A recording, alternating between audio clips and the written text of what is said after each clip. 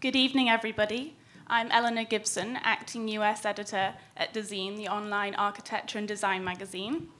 Welcome to this talk tonight called Shifting Hospitality. We're at WeWork on 7th Avenue in New York City, and I'm joined by an amazing panel, which includes Radical Innovation Award founder John Hardy, WeWork's James Woods, architect Danny Forster, and Yvette Jong, who is the founder of Craft House Consulting.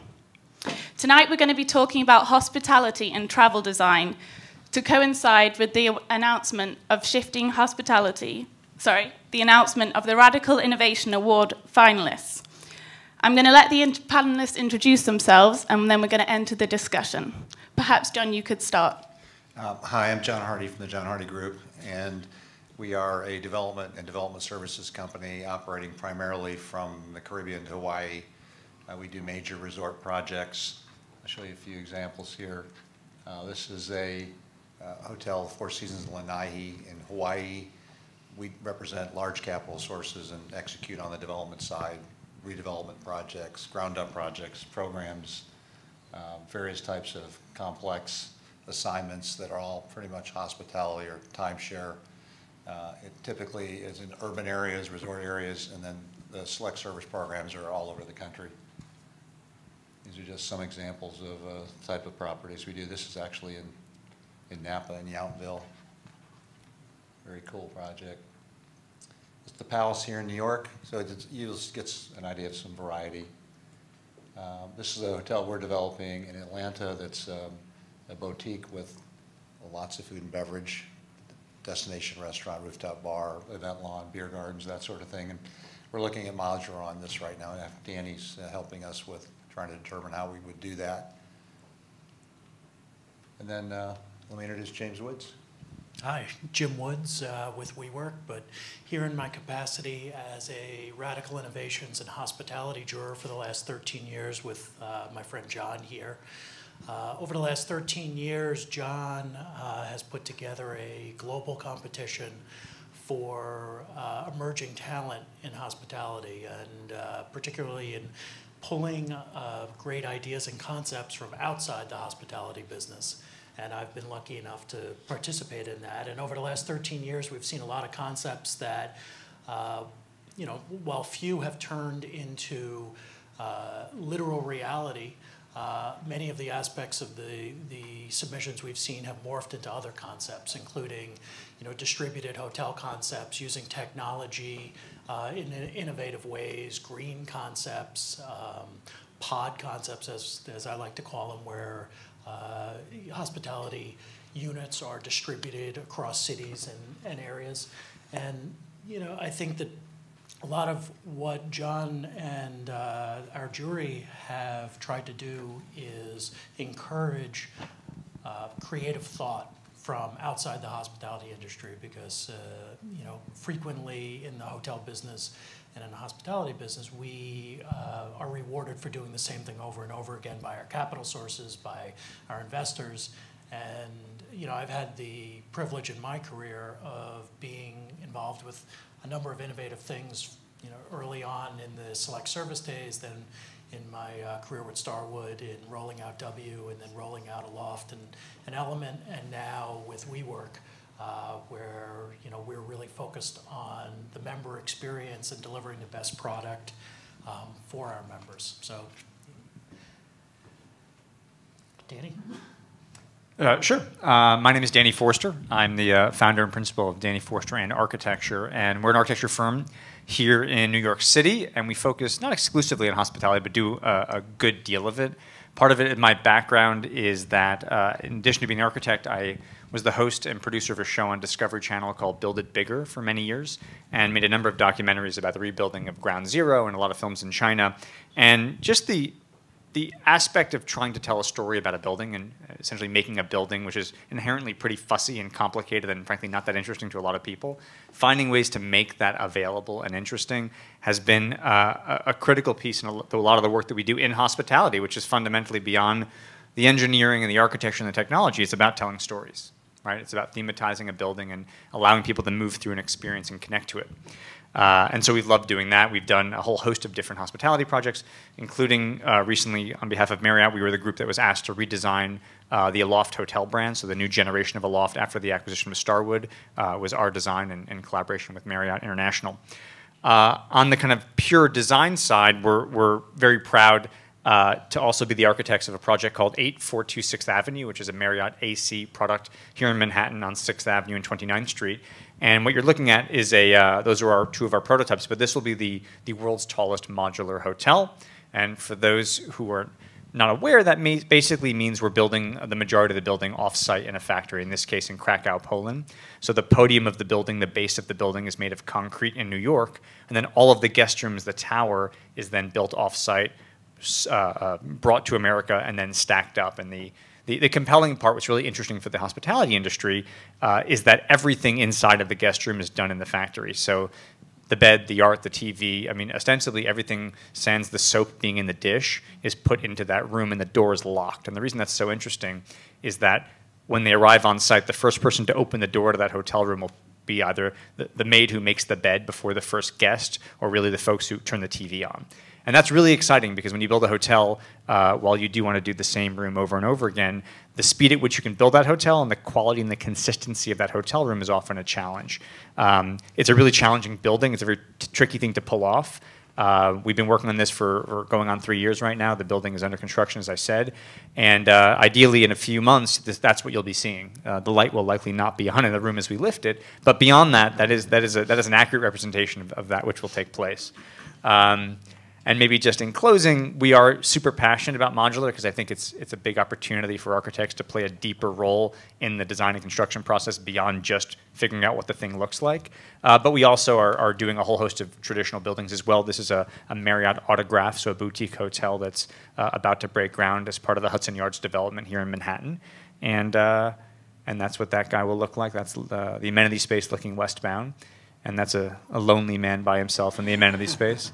Um, but yeah, so we're doing a lot of different hospitality spaces. In fact, and we're doing some work with WeWork as well. And so, uh, yeah, looking forward to, to talking more about it. All right. Hey guys, I'm Yvette from Craft House. Um, I started Craft House about eight years ago, and the purpose was really to marry what looks good, works well, and makes money. Um, we actually get a lot of really radical and innovative concepts that cross our desk, and it's really our job to help developers in the hospitality space make sure that what they're doing is sensible for the market, is sensible in terms of design, it actually works well, and it's not just for the cover of a magazine when it comes out, but that it actually operates well and will be there for a very, very long time. Um, the, am I going? Here are some of the projects that we work with. This is the um, Brickyard and Schoolhouse in Beijing. Um, Jim Spear climbed the Great Wall, and instead of coming down with a shirt that said, I climbed the Great Wall, he came back with a lease on an old farmhouse that wasn't being used at all. And um, he decided to renovate this farmhouse, and then all of his friends in Beijing were like, hey, we want a farmhouse. And after a while, the village was like, hey, it's great that you're renovating all these farmhouses. Can you now create jobs for us? So they created a schoolhouse. They took the schoolhouse, which was being used as a dump yard, basically, because all the kids were living in Beijing, and they made it into a hotel. Then they bought the brickyard factory, the brick factory, and then made that into a hotel as well. So it's a little bit of a destination outside Beijing. Um, this is the Conduit in London. Um, it's a private members club in Mayfair, and what it is is really a private club that's not about exclusivity, and that's we do a lot of work with private clubs. It's about thoughtful inclusivity um, and creating a community for people who are in the philanthropy um, space to get together. Uh, you could work there, you could dine there, you can entertain, but it's really about people who are, want to make a change in the world. Um, similarly, this is the Battery in San Francisco. Um, this is a project that's in Bentonville, Arkansas. This is done by Rope Swing Group, um, one of our clients, and they are really working to create a destination in Northwest Arkansas uh, with a lot of hospitality for the people who go there to work, the people who live there, by bringing concepts that are often found in big cities um, to really the middle of Arkansas, which where you don't typically have it. So this is a um, this is a food and beverage concept where there's shuffleboard in the middle. It's very much a young concept for people to kind of get together and gather and have fun. Um, our projects are kind of all over the place. This is uh, Bambu Indah on the left. Um, and Green Village on the right, this, these are two projects built in Bali. Um, the project on the right, it's all bamboo. Um, six story houses that are phenomenally gorgeous and ethereal and open air, open space, and you can go and spend um, a week or a month or whatever, however long you want, um, just really being part of nature and enjoying that. Um, Bambu Indah is um, one of our clients as well, and they are, it's kind of an experiment. Um, they are constantly evolving, changing, and under construction. If you were a guest there, uh, you'd probably be fairly frustrated by the amount of construction that's going on because they're always like, tear this down, let's build that. Um, it's like innovation in, in practice. Um, but these are some of the projects that we work on. Uh, the most recent project that opened is the Time Out Market in Dumbo that opened on Friday. Great, thank you. So we're here to coincide with the announcement of the finalists for the Radical Innovation Award. So, John, maybe you could tell us a bit about why you started the award and your vision to shift hospitality. Uh, I just think it's needed. You, you look at the industry today; it's it's getting more schizophrenic than it ever has been. We have brands scaling up to be monster companies. We have a major separation between operators and owners. We have uh, a lot of lenders that are focused on, you know, limited service, select serve properties that are not interested in anything other than, you know, something fitting in a certain box. So it's very difficult to innovate in hospitality, even more difficult now than I think it's ever been. So I think there, there was a need 13 years ago when we thought of this, and there's probably even a greater need now to provide people with a forum who have new ideas, who have the, the energy and the passion to put them forward and to take the risk to be criticized or rejected. And uh, not everybody wants to go through that, but the, the true innovators will go through all that because they believe in what they're doing. So I think Radical serves a purpose globally to provide that forum for people that wouldn't have it otherwise. And perhaps you could tell us some of the finalists from this year and what were the standouts for you? The, uh, there's three professional and one student. Uh, the student is from Russia, um, Kazan State University, though I'm sure you all are very well of Kazan State. Then we have... Good uh, football team. yeah, yeah. They're, they're known for their football team. Um, and then we have uh, SB Architects with a, uh, a very interesting train-based concept, and we have representative from SB here. They're a very talented firm in San Francisco, the Bay Area. Do a lot of very high-end resort and creative boutique work. Uh, Cooper Carry out of Atlanta has a very interesting concept on filling in infill spaces in urban areas.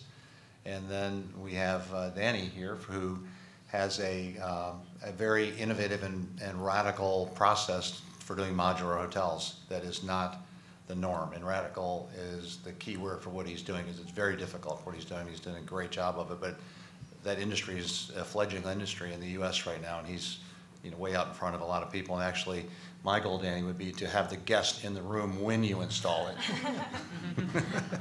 Are you going to volunteer? exactly.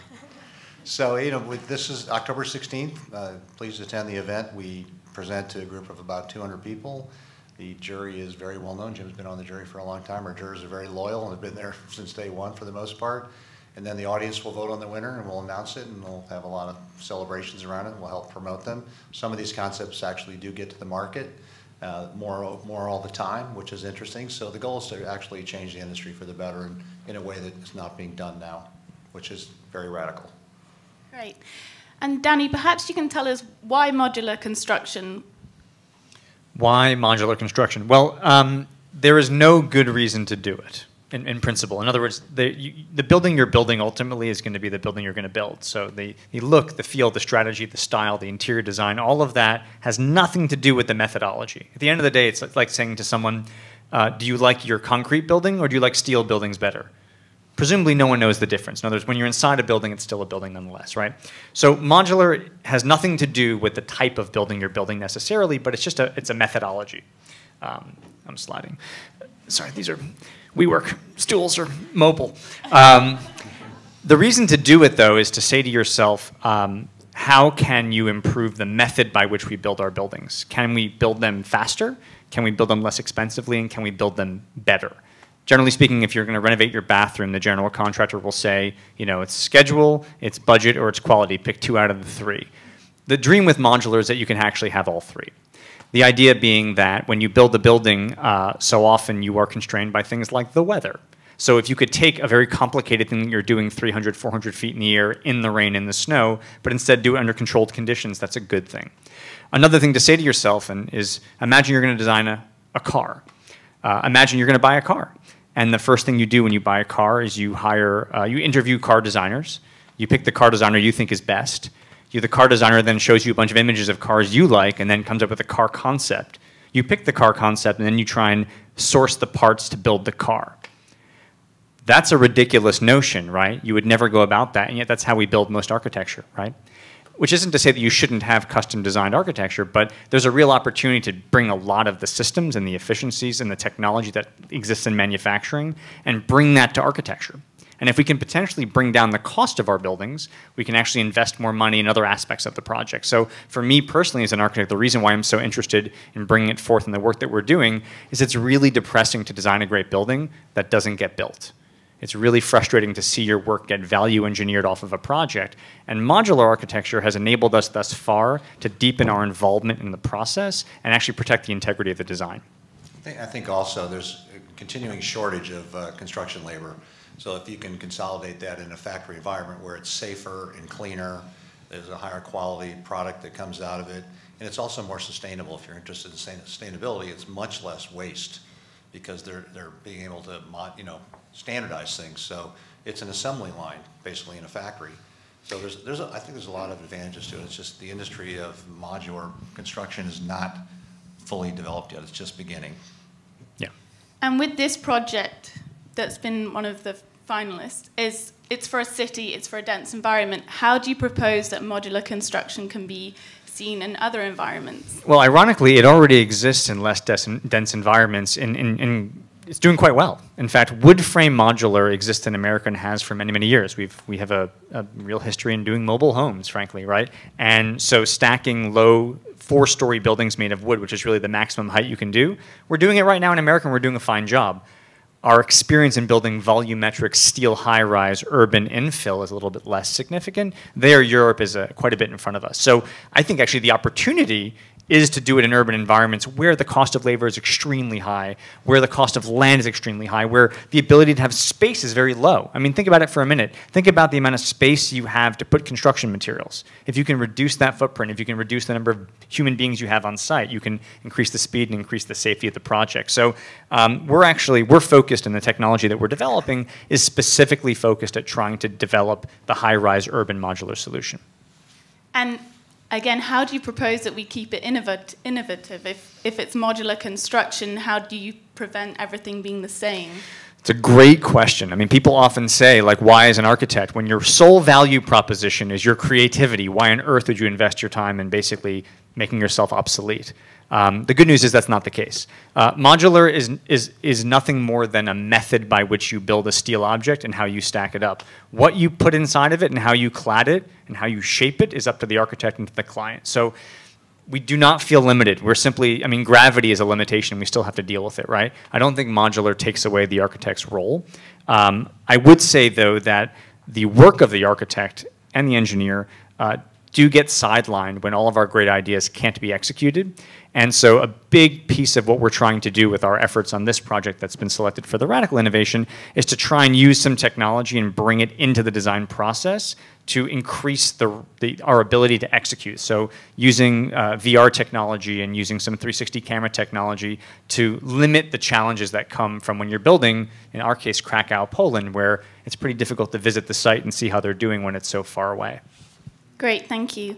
And James, you've been on the on the judging panel for the duration of the awards. I was wondering if you could tell us some of the themes that you've seen and what's been the biggest change over that time. Sure thing. Um, I think if you look over the last 13 years, you can bucket the submissions in a, in a few different in uh, tranches. We've seen a lot of uh, interest in green. Uh, certainly, that's a trend we're seeing across society, and a lot of the designs we see are either incorporating innovative green technologies into development or proposing ways to operate the hotels in a more uh, environmentally sensible way. So that's one trend we've seen a lot of.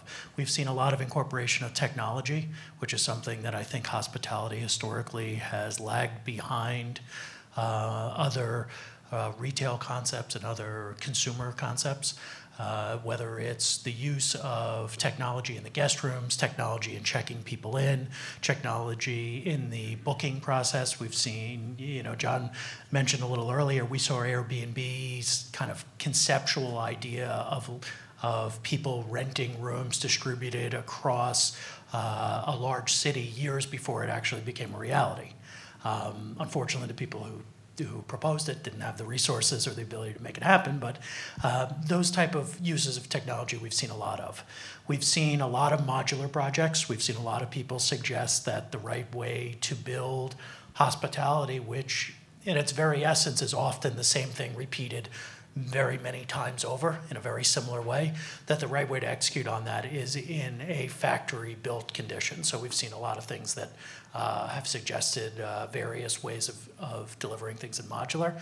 And then another thing that we've seen a lot of, which I think will we will start to see uh, more and more real world examples of, are distributed hospitality concepts. This, this idea of deconstructing hotels, taking a hotel and spreading it out over whether it's across a national park or um, in a, a beautiful landscape or even across a city uh, and tying those units together through um, not just branding, but through technology and service, uh, where you can take a experience and distribute it across a, uh, an environment and not have a singular building. So I think you know if, you, if I look across the last 13 years, most of what we've seen has kind of fallen in those categories. John, I don't know if I I missed anything. I, I think that's very accurate. Uh, this is what I like about, one of the things I like about Radicals. We spot trends long before they, they get out to the consumer.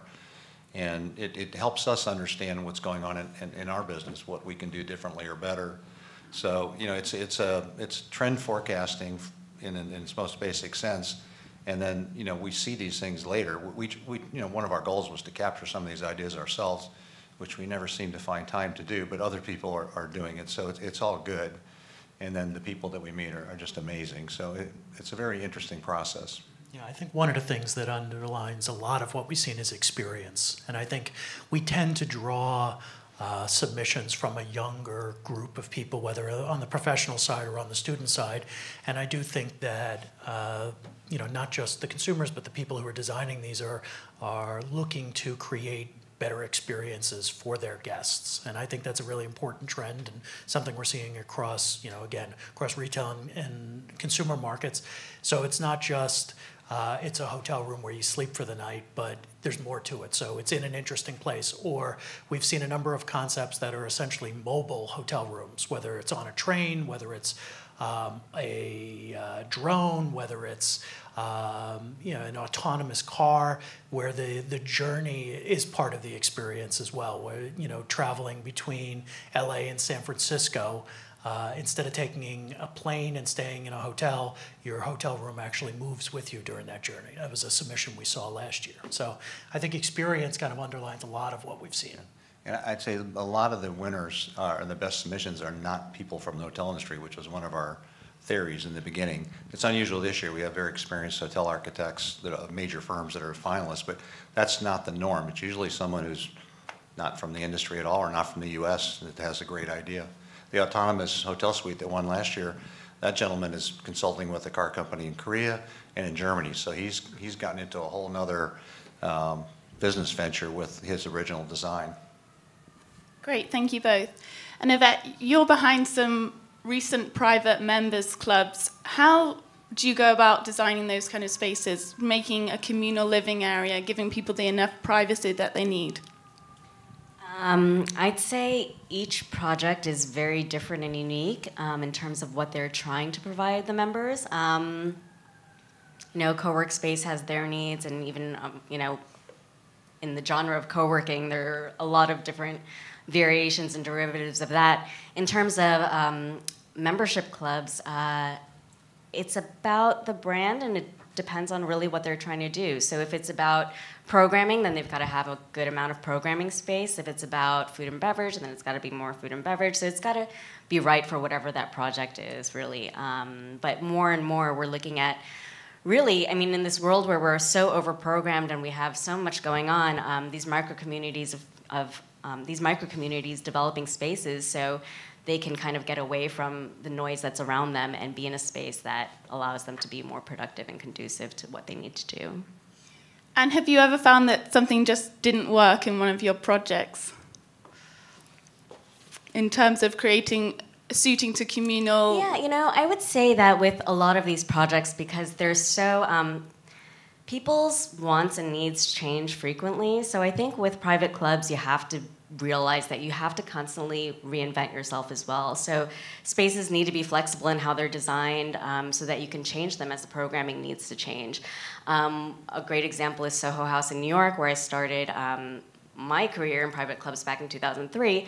And they've gone through so many iterations um, because people's needs have changed. When you went back in 2003, you wouldn't have seen a sea of you know, um, MacBooks, uh, it was very different than it is now. So, you know, they are also realizing that they need to start creating spaces that are dedicated to working um, to really accommodate the changing needs of members. Great. And you've also worked on a number of renovations. I was wondering, how do you balance historic and contemporary? How do you go about that? Um, it's really when you work with something that's an older building, it's about creating the story and having that tie into the whole brand, the brand and the experience. So you really want to retain as much of it as you can, but within within a framework of what's feasible and what makes sense. Um, there are often a lot of challenges. Many people think it's cheaper to do a renovation within a historical building. When you knock down one wall and you discover that there's like this, you know, gift of, you know, 10 months or 12 months of delay because you now have to fix something that you didn't know existed. Um, so sometimes the designs have to, you know, have to change as you discover these things and go through the construction of them. Great, thank you. James, picking up on something you said earlier about how there was a theme of green and environmental design, I mean, one of the issues facing hospitality and hotels is the amount of waste often. How, what kind of ideas have really stood out to you that could combat that? Yeah, as I said, I think that you know, green is now accepted as a, as the norm. I think 13 years ago when we started, a hotel that was environmentally uh, friendly was was somewhat novel, and now I think consumers expect from their hospitality experiences that the that the uh, operators use best practices. I think we've seen uh, anything from rainwater collection to gray water treatment to even just um, using materials that are um, generated in, in a closer radius to where the project is so you're not transporting things long distances, using materials that um, are reflective when they should be reflective, or absorptive when they should be absorptive, um, and just I, I, think people are thinking about the decisions they make during the design process much more than they were, uh, you know, even 10 years ago.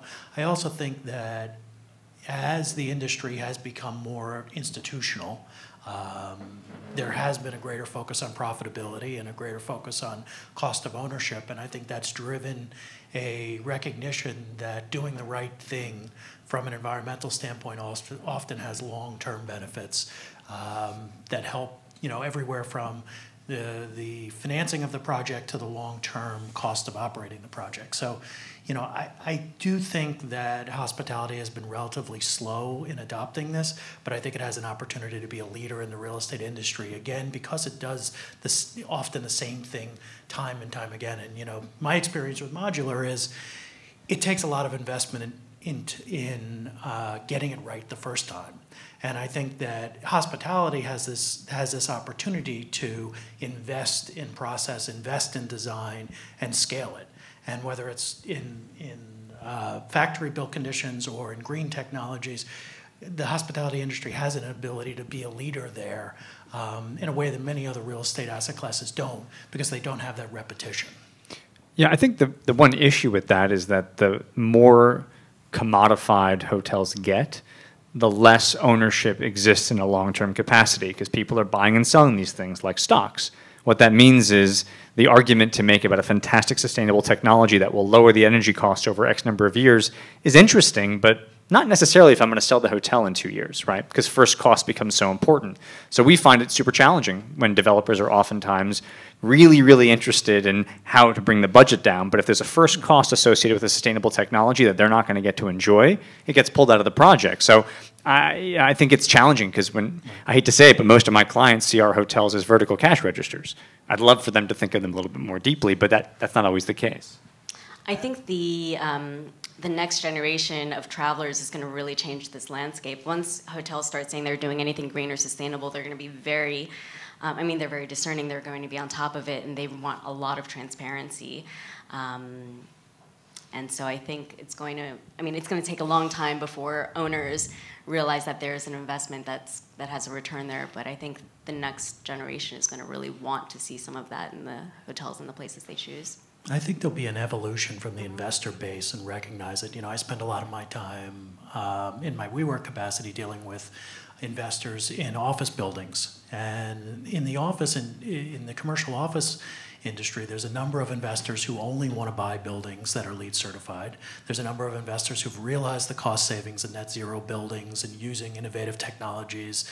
And I think over time, I, I do agree that it is a trading business hospitality, but I think the technologies and the improvements to construction and running these hotels long term will translate to bottom line. Those hotels will generate greater profit. They will sell for more money, and it'll be a you know a virtuous cycle. I think we're in the early stages of that. We, we do a lot of projects, and there's only one client we have that has done anything significant with sustainability, and we've done a lot on one, at one project. In our own project, we're, we're, we're trying to really bake in a practical sustainability exercise from the ownership side, the design side, the construction side, procurement side, and the operating side.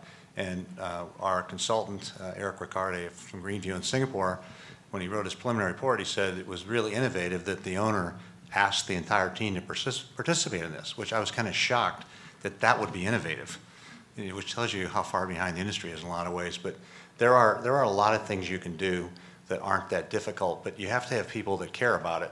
And unfortunately, in our consumer society, there's not a high priority to it across the board. And as, as hotels become, a, become more commoditized, there's not a financial incentive for investors to do it. But we also have another client that's very smart the way they do it that other investors need to think about where if they are thinking they're selling a hotel in a year and they have some energy initiatives they can take that will cost $500,000 but it'll bring a million dollars to the bottom line, they do that, they raise their NOI and they get a higher cap rate and they can sell their hotel for more money. So that's like a win-win where you, it's a smart thing from an energy point of view, but it's also a smart thing from a real estate point of view. So I think just a lot of this industry, because it's so fragmented, we have owners, we have brands, we have operators, designers, there's no consensus on how to go about doing this. There's people that are trying, and we're trying, other people are trying, but it's a growing you know, issue, it's a growing concern, and, and it's just going to take a while for people to figure out how to, how to do this effectively, but it, I think it'll happen. Great, thank you. And there's also been in recent years a kind of push towards the wellness industry and the inclusion of biophilic design. Is that something that you've noticed in terms of projects in, entered into the awards or in general in terms of the hotel industry?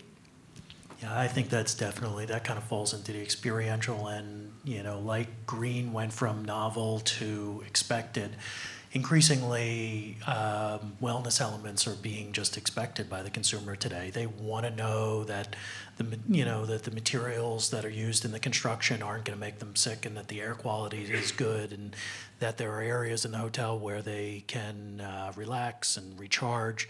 Um, so you know, I think wellness 20 years ago in the hotel industry meant you had a really large 20,000 square foot spa with, you know, a dozen treatment rooms. And wellness to this generation of consumer means something different. It means um, it means a place that makes them feel healthy. It means a place that uh, supports their desire to lead healthier lives, whether it's through uh, mindfulness or uh, working out or, or whatever it is. But it's moving away from the big hotel gym and the big treatment rooms into um, kind of the same trends you're seeing in the fitness industry, which is more class based things, more activity based things, more uh, instructor-led versus individual activities in the wellness space? Yeah, I'll give you a simple example. We, we were at a, a conference in Austin a few weeks ago with the hotel uh, group, and we had a really nice meeting room, and it was an entire wall of glass, and you looked out at Austin and, and green trees. And we were there in this room from 8 o'clock in the morning till 3 o'clock in the afternoon. And when the meeting was over, we're all like, oh, we're really not that tired. This is, what's wrong with us? We don't feel like totally depressed and wiped out from eight hours here. And we realize it's, it's the natural light. And, and even in this room, just something as simple as that. And I know you've all sat in meeting rooms for eight hours with no windows, and they're usually, you know, really not that attractive, and everybody's stuck there. And it's really kind of gruesome after a while. And I think just something as simple as that is, is better for people. And that, that kind of thinking needs to be carried through throughout the entire project.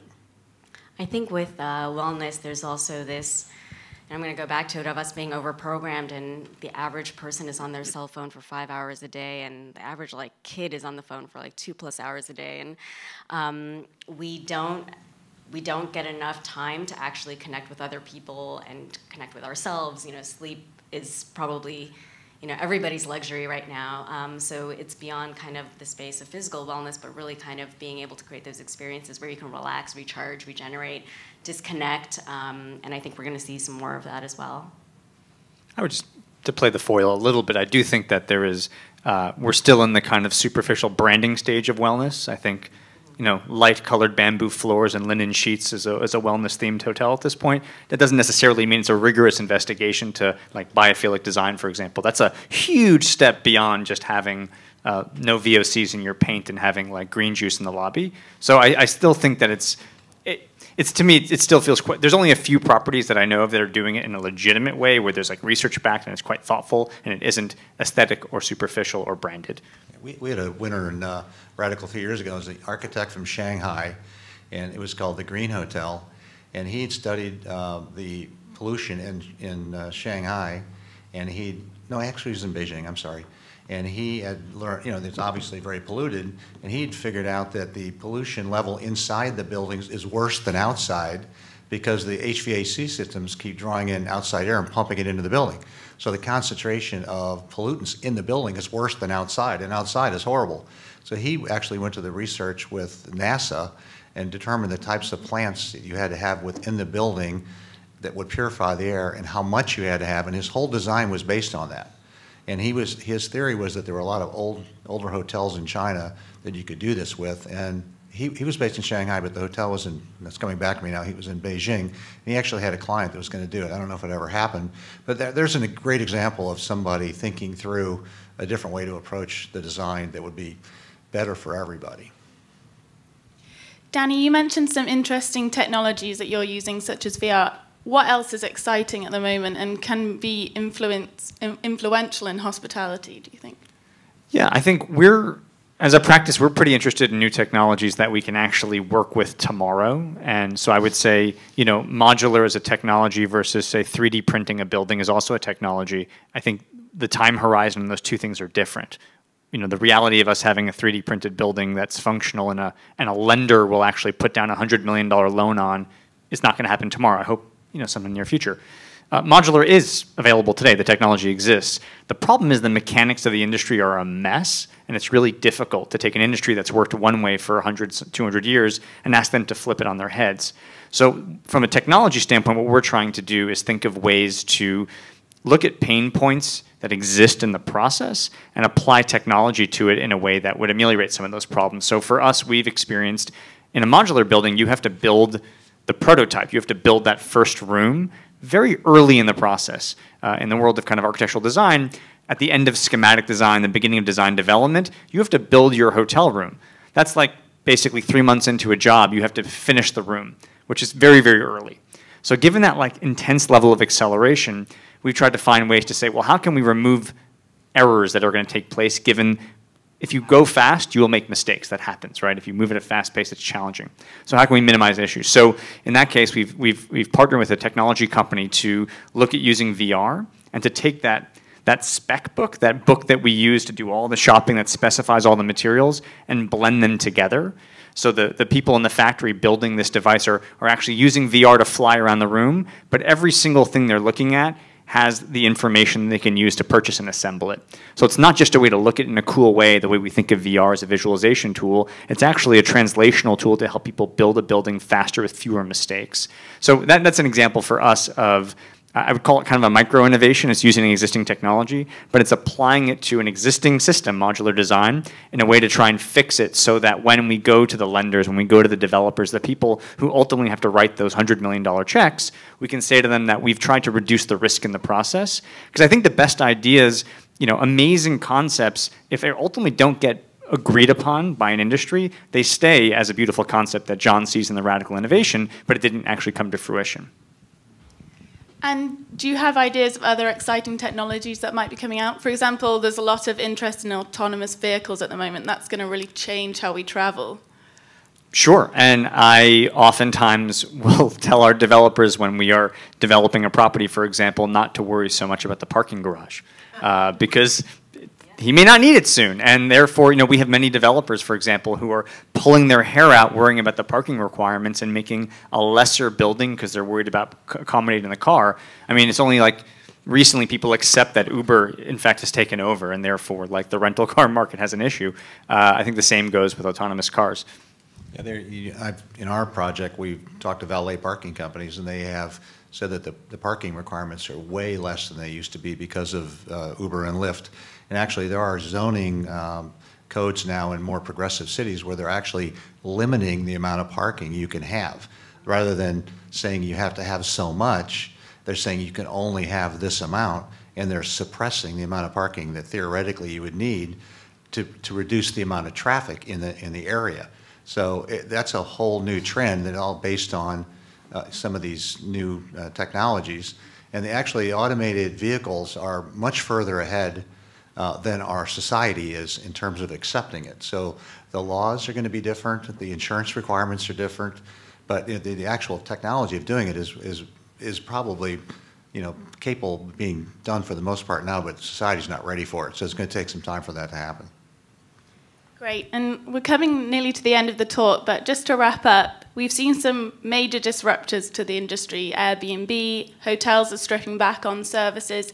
I was wondering if you could all tell me kind of what, where do you see it in the next 10 years? What, what will we see? Well, I think it's a really interesting time right now in the industry because you have, like I mentioned before, these big brands scaling up to be monster companies with 30 brands or whatever it is. They're, they're almost like an online travel agency themselves now. And they're going to put these brands everywhere because it drives stock price. And then you have, and that's, that's sort of the traditional indus industry. Then there's a tremendous amount of select service development, which is you know, very uh, reduced in scale and its offerings. And then you have the, the sharing economy, which is Airbnb and Sonder. And they're really seen as tech companies, which you know is kind of strange in a way. And you have Marriott going into home sharing, and then you have uh, you know Airbnb going, buying an OTA, and they're going into hotels to be an online reservation system for boutique hotels. So it's all becoming very commingled I don't know where all this is going. You have American Express involved. It's, it's very complicated. It's very moving very fast. There's a lot of big players involved, and you know it's hard. It's hard to imagine where it's going to go right now because it's so complicated. But it is definitely changing very rapidly. I think if I had to guess the the one thing that will drive hospitality in this coming decade, say, I think it's going to be um, community in real life. I think technology has largely put um, a distance between people.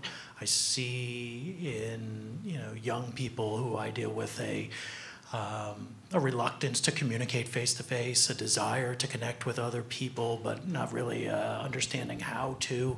Um, technology has become a real crutch. So I think that as real estate professionals and hospitality professionals, it's our job to create environments that are conducive to um, communities using them, to people using them to uh, connect in the real world. And you know, for those of us who have a hand in developing technologies, it's using those technologies in a in a thoughtful way to bring people together um, more and more in real life. So I think we'll see a lot more of that in in hospitality. Well, if I didn't say modular, that'd be that'd be dumb. So, I, I think I think over time, I think there will be a significant shift in the architecture and construction industry to move into a more high-tech manufacturing mentality. But I would say to draft away from that a little bit. I think from from a designer and architect's point of view, because our clients, those who visit hotels, are just more sophisticated. Like we've gone through many iterations of the iPhone in the last five years. Like we're aware of tech and design nuances. That means that there's more heat on the hotels to actually be better. They used to just have to be clean, right? Uh, I think what's great about it now too is also from a programming standpoint, the public spaces have to do more than just serve coffee. Like how you think about what takes place in a public space of a hotel is a much more interesting conversation, more challenging, more compelling. Uh, and certainly when you're dealing with, say, Marriott who's got 30 different brands, understanding what those swim lanes are and understanding what it means to be in these different spaces in a meaningful design way makes the job of the design and the architecture firms it's much more much more exciting frankly. So i think uh, hospitality as a space to work in is a i mean for me i designed the first hotel we designed was a building at ground zero. It's because we had the opportunity to make a tower at ground zero. I didn't care that it was a hotel. I was excited about the site and the challenge and the nuance of building there. Uh, having now done quite a few hotels over the last 10 years um, I, I, find this space really interesting and increasingly more challenging. Um, I think we kind of all agree innovation in hospitality is very slow. Um, but you know, as we talk about this, I'm like, I would love to put on a pair of VR glasses right now and have a heat lamp and you know some you know safari going on around me. And i think you know maybe that might be my submission for next year for the award. Um, but you know a pod where you go into and you can kind of escape it's a mini staycation and it's sustainable in a lot of different ways. Who knows? Um, but i do agree with you jim that really um, people are very disconnected and finding ways to connect them in real life is very important. Great thank you all. Now we're going to open up for some questions if anyone has any. Please raise your hand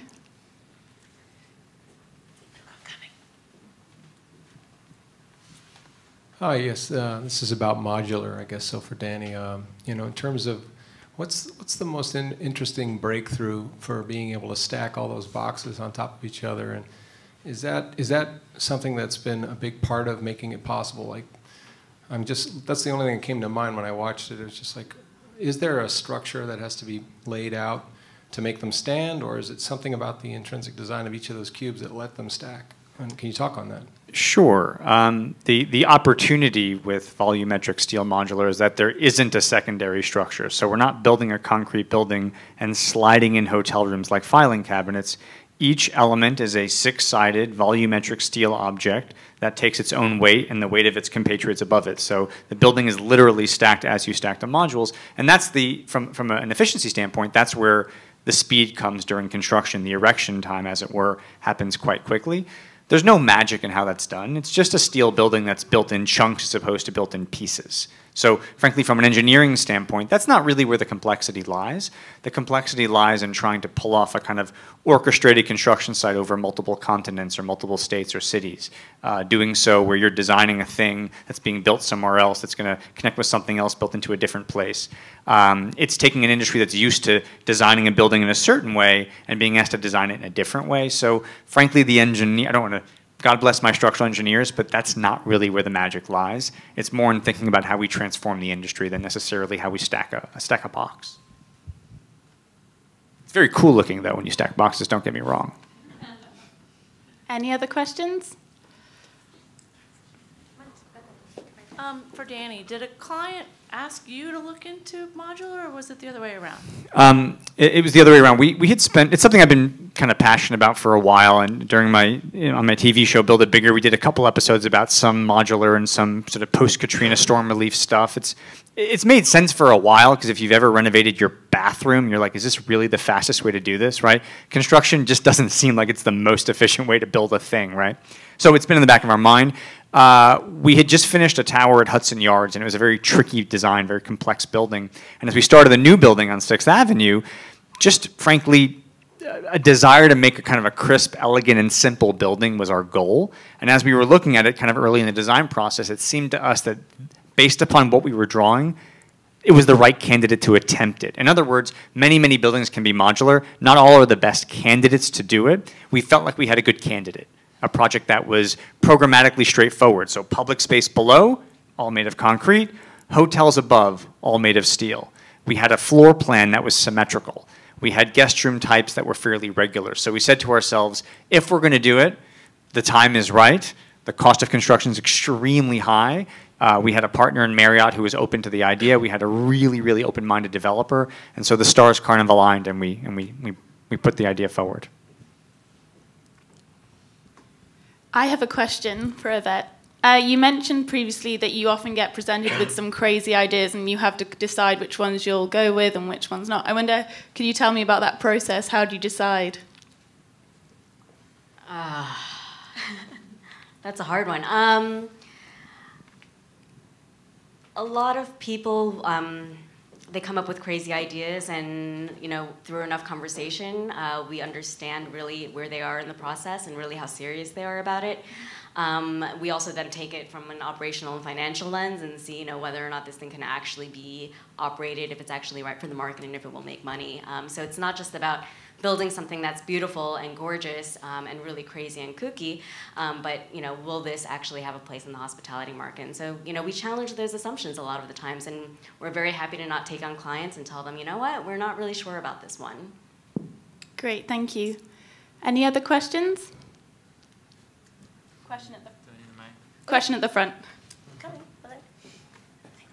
Um, this is for anybody. Um, there are some retail spaces that sort of overlap into the hospitality um, industry. It's like there's this place in Hudson Yards called Eden where you can sort of rent for a half hour to take a shower or take a rest.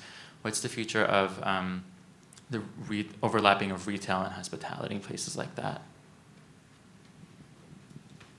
Well, I would just say that when you're, I hate that this is the conversation that I have many of the times with, with clients, but it's what are the different sources of revenue to make the project function? And thinking about the public space not just as the place to check in, but rather a multiplicity of other kind of spatial opportunities and frankly revenue generating opportunities is how does retail play a role in that? So on the one side, it's just interesting to think about the programming of the public space and how you have to think of it.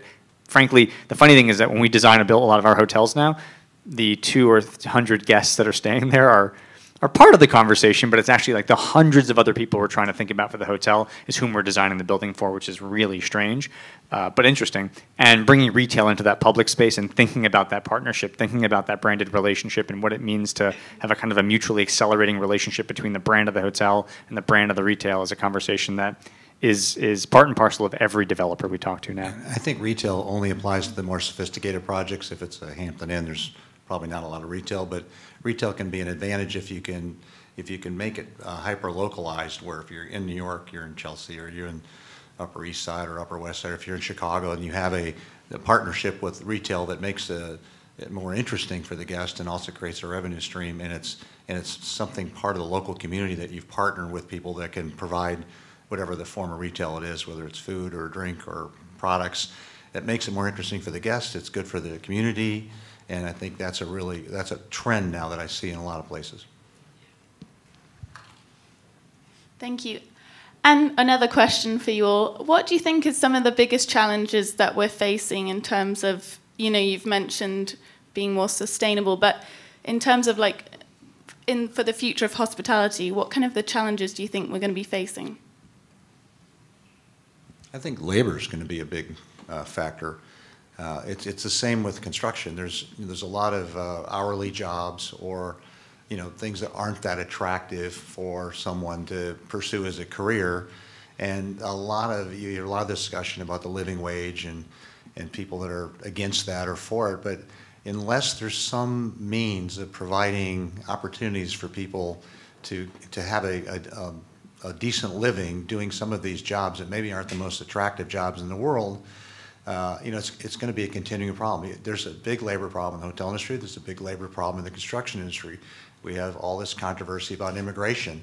You know, where are the where's the labor going to come from if it doesn't come from immigration? And there's a lot of um, resort hotels that rely on student students in the summer to come over from another country and work. So it's, it's a big. I think that's a huge factor. Now, modular can help a lot of projects from a labor point of view for construction but that doesn't help you with the hotel operation. And you hear people saying that, you know, they're going to be cleaning rooms with robots. You know, that, that's, we're a long way from that. And they're, in Japan, they had robots in the rooms, they had to take them out because people were snoring or talking in their sleep. The robot thought it was a direction, and the robot's banging around in the room trying to do something. So we're a long way from that. But the nice thing about the hotel industry, if this can all be sorted out, it is a, a good career path for people. And you don't, you don't have to be a, uh, a MIT PhD to progress in the hotel industry. You could, you could start as a, a busboy, and then you could become working in the restaurant. You could be a restaurant manager, and you become a general manager someday. So there's a lot of upward mobility in the hotel industry if it's managed pro- properly, but you have to have enough people to, to operate it. So I think labor is a huge issue. Yeah, there are some arguments that, you know, there are some hotels that will encourage you not to have your room cleaned um, as a sustainability effort. Um, and then the flip side of that argument is, well, now you have housekeepers that are losing jobs because of it. So that's kind of where do you find the balance between technology and labor, and what you know, what is the way forward? It's kind of hard to uh, navigate that. Great, thank you. Any more questions? No, I think that's a good point for us to wrap up. Thank you for your time tonight, everyone. Thank you to my panelists. Thank you.